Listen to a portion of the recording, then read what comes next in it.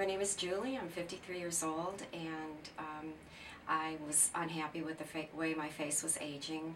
I felt that I was getting the family jowls, and I had a lot of sun damage on my face and neck um, that I was not happy with, and I felt I looked older than I really felt. And sometimes I'd look in the mirror and think, you know, who is that? And um, uh, so after talking to Dr. Goldman, we decided on the right procedure for me. Um, and I think it looks very natural. I don't think anyone can really even tell. I don't have the really pulled tight look. I think it looks um, um, very natural, and I really couldn't be happier with the results.